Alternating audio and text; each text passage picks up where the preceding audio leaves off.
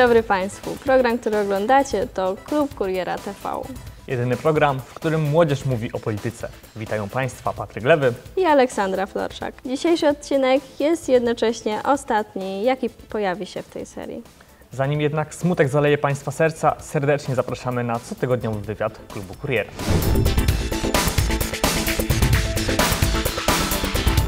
Gościmy dzisiaj w, do, w domu aktorki Moniki Buchowiec i będziemy rozmawiać o patriotyzmie. Ja w ogóle zastanawiam się, czym, czym w ogóle jest dzisiaj e, patriotyzm.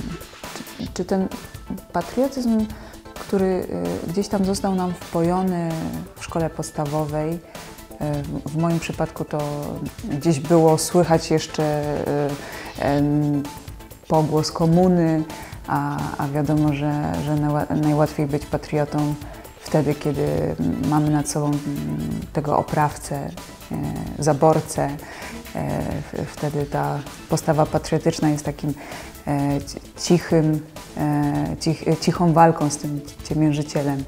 Więc ta postawa patriotyczna, którą, która była nam wpajana, była jeszcze takim pokłosiem em, zachowań, też walki o siebie, o swoją tożsamość w czasie komuny.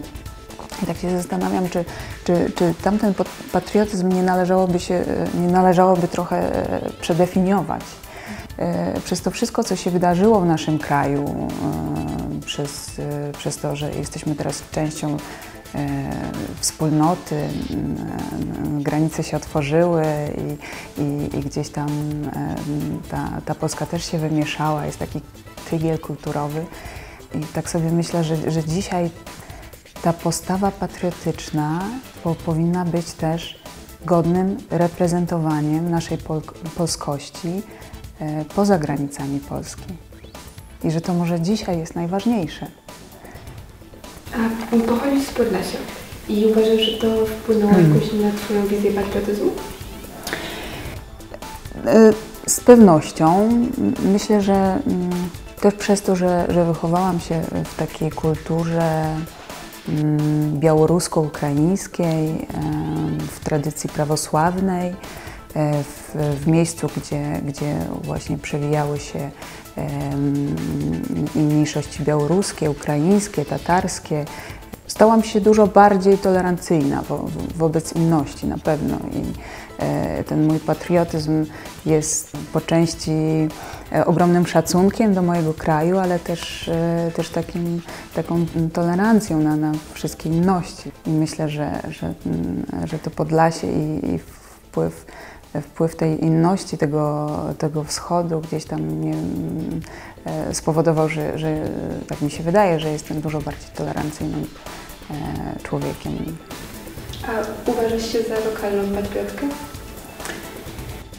Y, tak, tak. Y, ja, ja w ogóle jestem strasznie sentymentalna i bardzo się przywiązuję do miejsc i za każdym razem jak się przeprowadzam do innego miasta, z Podlasia przeprowadziłam się mm, do Łodzi, później z Łodzi do Warszawy i, i gdzieś tam za, za, zawsze jestem tą lokalną patriotką. Jak, jak mieszkałam na Podlasiu, to, to oczywiście Po- Podlasie to była moja ojczyzna, tam gdzieś tam się bardzo utożsamiałam z tym Podlasiem. E, Później e, na 10 lat zamieszkałam w Łodzi i, i czułam się taką ło- łodzianką prawie, że, że rodowitą. Teraz mieszkam w Warszawie i też e, Warszawa jest, jest, jest mi bliska i myślę, że gdziekolwiek bym nie zamieszkała, zawsze byłabym no, lokalną patriotką. Y, A jak teraz Twoim zdaniem ludzie powinni okazywać patriotyzm? W Łodzi ludzie? Wydaje mi się, że patriotyzm to jest e, postawa, która e, powinna wypływać przede wszystkim e, z serca. A, a dzisiaj obserwuję taki patriotyzm wynikający bardziej z analizy, czyli wyobrażenia sobie, jak, jak patriotyzm powinien wyglądać. Stąd te wszystkie paradoksy, gdzie symbole narodowe tatuuje się na ciele, symbol Polski walczącej, czy, czy orzeł biały w koronie na, na bieliźnie, czy, czy na jakichś y, mm, kusych koszulkach.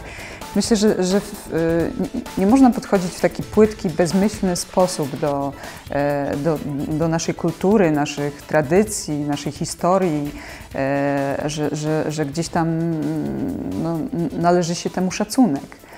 E, czy ugrupowania skrajnie prawicowe, które utożsamiają się z faszyzmem. No, ja, ja nie jestem w stanie tego zrozumieć. Wydaje mi się, że dzisiejszy patriotyzm nie, nie powinien polegać na manifestowaniu odrębności, czyli e, nasza Polska, Polska dla Polaków, e, nasze granice, nasza, nasza polskość, tylko przede wszystkim przez naszą otwartość pokazywać wyjątkowość tej naszej polskości. To, czym możemy się szczycić przez dialog. Dziękuję Ci bardzo za rozmowę. Dla Państwa nadawała Julia Pietraszewska specjalnie dla programu Kurier TV. Wywiad już za nami, więc płynnie przechodzimy do sądy wśród łodzian. Patryku? Nasi ankieterzy podjęli się dzisiaj bardzo kontrowersyjnego tematu.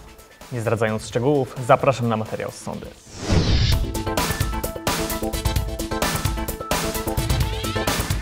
A uważa Pani, że można być Polakiem i muzułmaninem? Myślę, myślę, że myślę, że tak. Kolejna trudna kwestia. Polaki muzułmanin, ale myślę, że to jest możliwe, ponieważ reli- religia z y, narodowością nie kłóci się. A uważa Pan, że można być muzułmaninem i Polakiem? Oczywiście, że tak. No nie ma, nie ma w ogóle, to nie, to jest... Znaczy ja strasznie żałuję, że takie pytania teraz się pojawiają. Ja Cię rozumiem, ja nie mam Tobie za złe. Natomiast uważam, że to jest, to jest... y, Teraz się pojawiają takie pytania, bo rzeczywiście, no wiadomo, no, e, trzeba pytać o to, żeby tym wszystkim jełopom, tym wiesz, tym, tym homofobom, tym rasistom, żeby może do tych łbów coś nakłaść, nie? E, e, natomiast szkoda, że my o to pytamy w naszym kraju. Wiesz, szkoda. Ja bardzo żałuję, że nie powinniśmy o to po prostu pytać. Po tym, co myśmy przeszli przez te wszystkie, wiesz, lata wojen, tych zaborów, tego wszystkiego, że my o to w naszym kraju pytamy, szczerze, to jest skandal.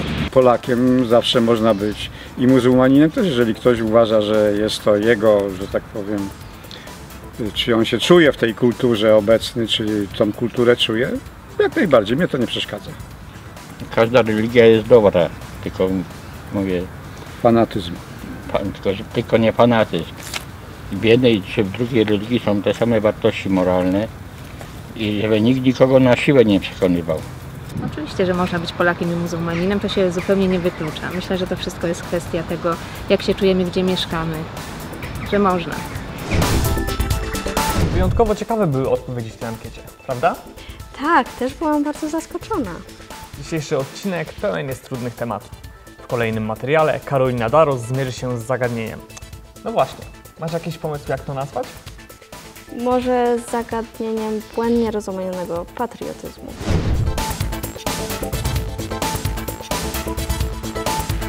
Przez błędnie rozumiane znaczenie patriotyzmu wiele osób popada w zachowania często skrajne, nacjonalistyczne czy kosmopolityczne.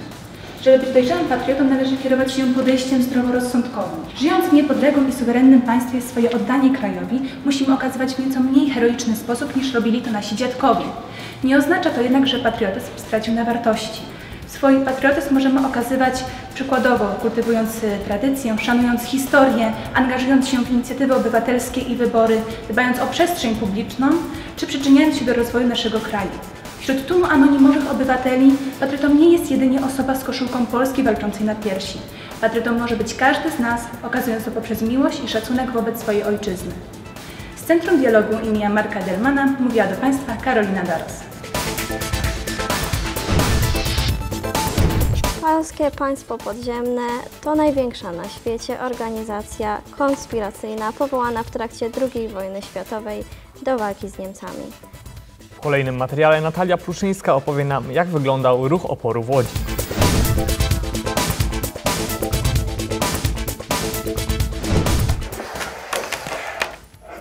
Podczas II wojny światowej Łódź została wcielona do terenów okupowanych przez Niemcy, a w związku z tym została poddana silnej germanizacji. W celu ochrony naszego państwa w Łodzi powstały liczne ruchy oporu. Do jednej z najpopularniejszych e, ich operacji możemy zaliczyć akcję S. Polegała ona na tworzeniu sztucznych donosów skierowanych przeciwko Niemcom. Tym samym e, dawano czas e, Polakom na tworzenie innych akcji oraz na zaburzenie pracy systemu nazistowskiego. Ważną również akcją okazała się akcja N.